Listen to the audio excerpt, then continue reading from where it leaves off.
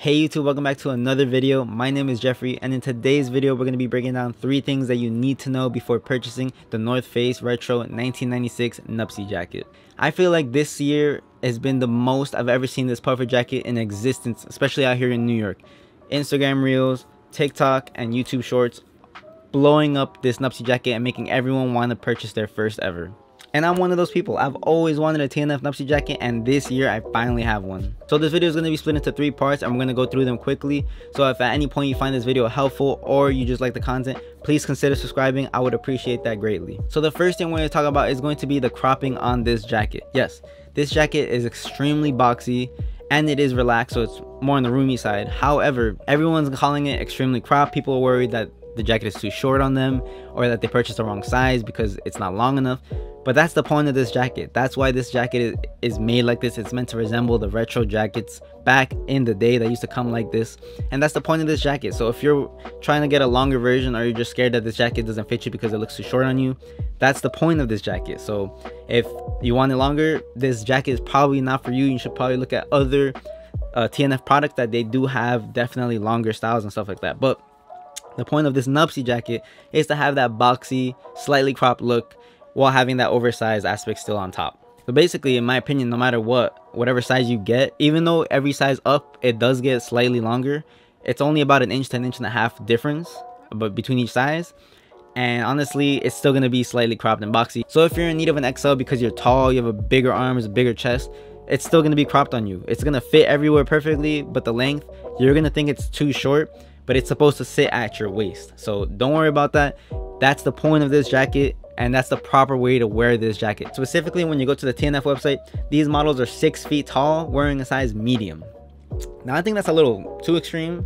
They're definitely trying to show the slightly box uh, cropped and boxy fit of this jacket. I'm pretty sure they should be wearing larges or extra larges in my opinion. So now that we got the sizing and the cropping out of the way because that's the point of this jacket so if you're looking to see why why this is happening why it's so cropped it's because that's the point of the jacket. So let's move on to sizing because that's probably the most important part of this video and the main reason I'm making this video. Now I am 5'6 and I weigh 135 and I have both a small and medium on hand and I'll be putting both of them on and comparing them. So you can judge for yourself also in the comments whether you think the medium looks better on me or the small looks better on me. But you know, I already ultimately know which one I prefer and what will happen in the future. So let me break it down. So for both jackets, I actually put them on without a hoodie and then with a hoodie and I show you what it looks like unzipped and zipped. And I never actually opened the, the, hoodie on the jacket itself because I don't think there's a point. I don't really, not a lot of people actually will be using that hood, to be honest. I probably will not use the hood unless it's actually raining on me and I didn't know and I wasn't prepared for the rain. put it on with a hoodie and without a hoodie and I'm to show you the small first in every scenario and I'm to label it and also the medium in every scenario and then there will be some side-by-side -side comparisons later on. But as you can see, the small is definitely smaller in the aspects of the arm length and also how high up it goes on me. The difference between the size of small and medium when I measured from the highest point on the shoulder to the bottom was a 1.5 inch difference from 25 being on the small and 26.5 being on the medium in length. Another thing is obviously when you go from a small to a medium, there's much, much more room inside. It's very roomy. So when I threw on the hoodie underneath the size small, it wasn't too roomy in the jacket, but it wasn't very snug either. So I'd say it's actually pretty perfect to wear a hoodie underneath still. When I threw it on the medium, same scenario, but I had uh, way more extra room to work with underneath the jacket. If you're trying to go for that oversized look with this puffer jacket, I would say go a size up.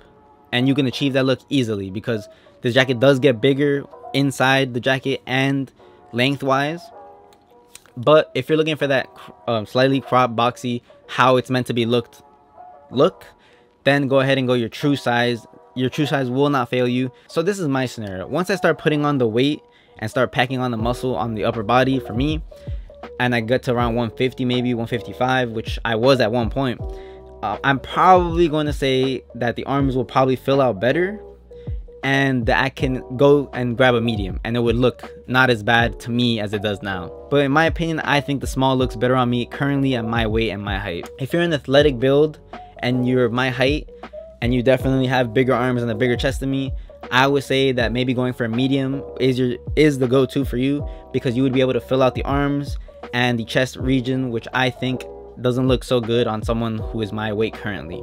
So that's really the only difference. The lengthwise, you're barely gonna notice it. it's gonna be an inch difference. Another thing is when you cinch the jacket, the jacket will roll up slightly, so you will lose about one inch on both, any size actually, small, medium, or large when you cinch the jacket. So that's just for the air not to go in. And honestly, I think it looks good when you cinch the jacket. But I will say this, leave a comment down below with your height, your weight, and the current size that you own so that you can help other people and y'all know y'all can have a discussion in the comments on whether you think a size small is better or a medium is better for your current height or a large or an extra large you know anything. Leave it down in the comments and help each other out and it'll help other people out. So that would be much appreciated by me and the other people that are looking through these videos to find what size they should buy. So that was the main point of this video was sizing. To help people my height 5'6 5'5 5'7 any around that region from 5'5 to 5'8 to help figure out what size they should buy and depending on the weight that they are up here. In my opinion that matters a lot whether uh, for what type of fit you're trying to go for. If you're going for oversized size up. If you want to fit it stay true to size. And depending on the weight you are you may be a size small or medium at my height 5'6 the third thing we're gonna move on to the third thing and the third thing we're to be talking about is going to be the warmth and the utility of this jacket. I actually threw on this jacket recently on the coldest day of winter so far in 2023 where it was around like 8 degrees in the morning and I threw it under I threw a hoodie underneath and it was perfectly fine. I have no gloves on. I put my hands in my pocket and in about a couple minutes they warmed up. The pockets were warm, my hands were warm. So this jacket does an extremely good job in low degree weather in 8 degrees Fahrenheit by the way. But this jacket is for up to negative 13 degrees Fahrenheit. So I would wear it up to that point. So actually when I throw it on without a hoodie too, when I step out around like the 30 degree, 20 degree weather, actually still does the job. Sometimes I don't want to wear a hoodie. So it still keeps me warm, still does the job. And I wore it sometimes in the rain already so far too. And it does keep it the water out. It is slightly water resistant. Not waterproof, but it, is, it does do some slight good water resisting. So hoodie on or hoodie off at around 20 to 30 degree weather, this jacket will still keep you warm while looking stylish and being very comfortable. So the last thing I'm gonna give you a bonus bonus tip is going to be colorways. Let's talk about the colorways. Now, if you go onto the website, you're going to see plenty of general release colorways that they have. They have a lot, a lot of good colorways. You don't need, just need to buy the black on black that everyone's getting. Even though it does look crisp and goes with everything, I think that this gray on black goes with a lot of things too. The brown on brown, the orange on black. It has a lot of good colorways. You don't have to just rely on TNF colorways. There's Supreme collaborations. There's a COG collaboration that came out recently. Definitely look out for the collaborations. They will do extremely well and they will look hopefully extremely unique and you'll be able to pick them up. Okay, so thank you for watching the video. I made this video basically for people that are my height and my build that don't know what size to go for. These are my recommendations. I recommend going true to size, so size small if you're around my height. And if you want it oversized or planning on putting on weight maybe, or already are an athletic build, probably try the medium. You'd probably have to go in store and so drop a comment down below whether you think medium or small looks better on your body type and your weight all that good stuff. Let me know what you think about um the video. Thank you for watching the video. I will see y'all on the next one. I'm out. Ah i've been wearing these a lot recently mainly to work but i'm gonna have to drop a review on these real soon